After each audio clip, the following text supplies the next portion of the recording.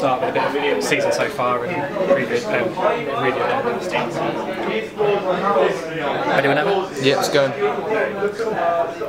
So, how do you think the season's gone so far? For the team? Um, well, a couple of results that we haven't been that happy with in terms of drawing two games that I felt, we felt we were in control of winning. Um, but on the whole, it was about, I guess, building this team back together. We've a lot of changes, so it has taken a bit of time. But, you know, having Sione and James back from the World Cup, you know, the squad's starting to settle down there, and a couple of guys are coming back from injury. So it's becoming a little bit easier for us to, to sort of do the small things well. So, you know, we saw that against Doncaster. We, we, we did some, some things better than we've done previously, and um, managed to play for 80 minutes. So it's it's not. You would never, you'd always say games are important, but you know the way this league is structured, you have to have the, the side really firing at the back end of the year. So that's still the objective.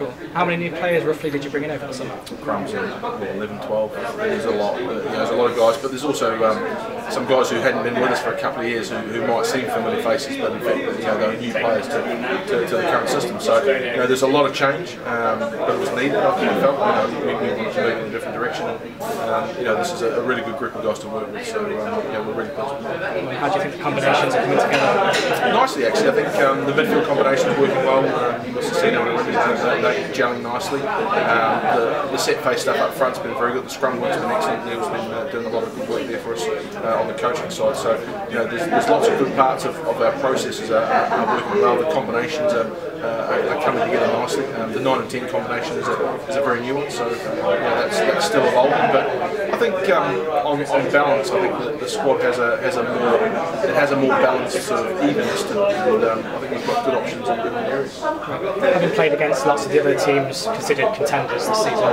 where do you think you sit in terms of your progress and where you'd like to be at the season? I think we're close to them at the moment, but close without having overcome them. And if you think, you know, we lost the last kick of the game to, to Bedford and to Bristol, um, you know, it's about turning those fine margins into winning margins. So yeah, we're close, but we're not uh, not suggesting that we're, we're, close enough to stop working. So it's going to take a lot more. Those sides are, are, pretty established and evolved and have come together well and are performing well. So um, we've, we've, got to keep working really, really hard to, to make sure we catch them up properly. And in terms of your philosophy on what you want, how you want the team to play, is it more of an expansive game you're looking for? Is it more of a winning style, or preferably both? I suppose. Well, I think you take winning at any cost. Um, the, the, way we like to play is we width. Um, have a, a, lovely big wide surface to play at Meadow Lane, and you know, we want to move that football around and, um, and, and use it well, and um, try and come up with, with, good decisions to, to make on attack that are exposed defenders. So you know the, the philosophy won't change, but you know in this league you have to have good set votes, so good strong line out and, and scrum detail is, is very important.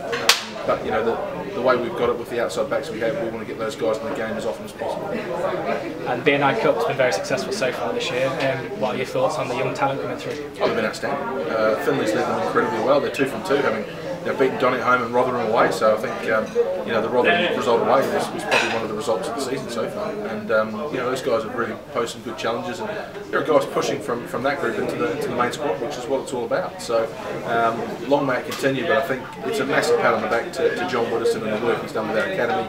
Um, there's eight guys from our academy who started in those games, which you know, is fantastic for, for, me, and it just shows that there's good talent out there that can push through and, and play well for us. And there's been rumours about you getting extra support from the board to help you strengthen the squad. Is there anything you can give us as an insider that you might be looking at, or areas you're looking to strengthen maybe?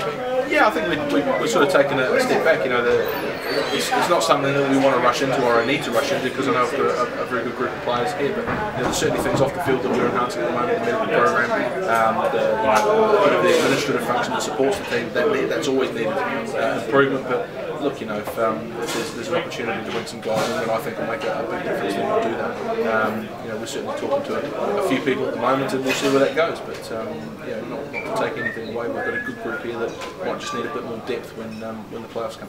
Great. And so, what were your thoughts on the World Cup then? Obviously, proud as a Kiwi, and I'm just yeah, happy to win. That's, that's, as much as it uh, as can be said. It wasn't a great game. I don't think New Zealand played well that well in the final. I think the French were the better side. But um, look, you know, from, from watching the game objectively and, and being a, a Kiwi, it's like we'll take the win. Thanks very much. It's done. And uh, I guess um, they'll move on, and, and, hopefully that sort of you know, I guess monkey of World Cups is now gone, and they can just focus for the next four years on perhaps doing it again and, and being competitive in, um, in England in 2015. Right, cut that one, that's.